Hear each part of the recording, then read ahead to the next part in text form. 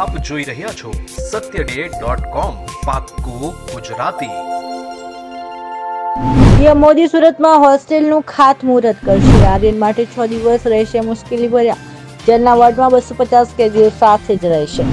પાકિસ્તાને અફઘાનિસ્તાન જતી ફ્લાઇટ કરી રદ તાલિબાન પર દરમિયાન ગીરીનો લગાવ્યો આરોપ. ભક્તોની ઈચ્છા થશે પૂરી બે હજાર ત્રેવીસમાં રામ મંદિર દર્શન માટે ખુલ્લું મુકાશે. અમદાવાદ શહેરમાં નવ્વાણું ટકાથી વધુને કોરોનાની પ્રથમ રસીનો ડોઝ મુકાઈ ગયો. રાષ્ટ્રપતિ રામનાથ કોવિંદ લદાખ અને જમ્મુ કાશ્મીર જશે ચૌદ અને પંદર ઓક્ટોબરે. રાષ્ટ્રપતિ કોવિંદ કરશે મુલાકાત.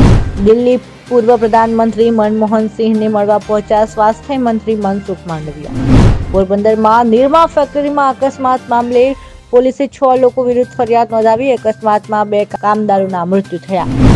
તો ભારતીય શેર બજારોમાં તેજી સેન્સેક્સ એકસઠ હજાર પોઈન્ટને પાર, સેન્સેક્સમાં ત્રણસો પંચ્યાસી પોઈન્ટનો ઉછાળો, સેન્સેક્સમાં એકસઠ હજાર એકસો બાવીસ પોઈન્ટ પર, નિફ્ટીમાં એકસો બાવીસ પોઈન્ટનો ઉછાળો. નવરાત્રીમાં નવમા દિવસે અમદાવાદની કોવિડ ડેઝિગ્નેટેડ હોસ્પિટલ બારસો બેડ ખાતે પાંચસો પંચાવન દિવસ પછી પહેલીવાર કોવિડ દર્દીની સંખ્યા ઝીરો થઈ, એક પણ દર્દી દાખલ નથી. દિવાળી વેકેશનને લઈને ઉત્તર ભારતની ફ્લાઇટના ભાડામાં ત્રણ ગણો વધારો થયો. એસીબીનો સપાટો ગુજરાતમાં આઠ મહિનામાં એકસો ચુમ્મોતેર સરકારી બાબુઓ લાંચ લેતા ઝડપાયા. સુરતમાં ગરબા રમી રહેલા વિદ્યાર્થીઓને માર મારવા મામલે પીઆઈ પીએસઆઈની બદલી અને બે પોલીસ કર્મી સસ્પેન્ડ. ચકચારી મહેંદી હત્યા કેસમાં આરોપી સચિનને મોડી સાંજે વડોદરા લવાયો. ગરબેકી રાત આલ્બમ ગીતમાં માતાજીના ગરબામાં શોભનીય દ્રશ્યો દર્શાવતા વિવાદ. આજે વર્લ્ડ સ્ટુડન્ટ ડે ચાર વર્ષમાં નર્મદ યુનિવર્સિટીમાં સાતથી વધુ દેશના સત્તર લોકોએ પ્રવેશ મેળવ્યો.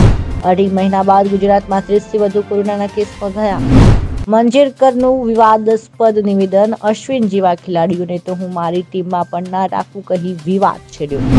રિયલ એસ્ટેટ સેક્ટરમાં તહેવારોમાં મકાનોના વેચાણમાં ઝડપથી ગ્રોથની અપેક્ષા ગોધરા સિવિલ હોસ્પિટલની ગોર બેદરકારી આવી સામે ત્રણ બાળકને એક્સપાયર થયેલી બોટલ ચડાવી દેવાઈ.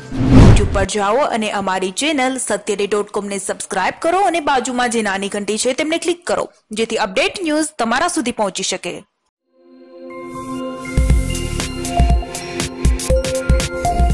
આપ જોઈ રહ્યા છો સત્ય ડે ડોટ કોમ પાક્કું ગુજરાતી.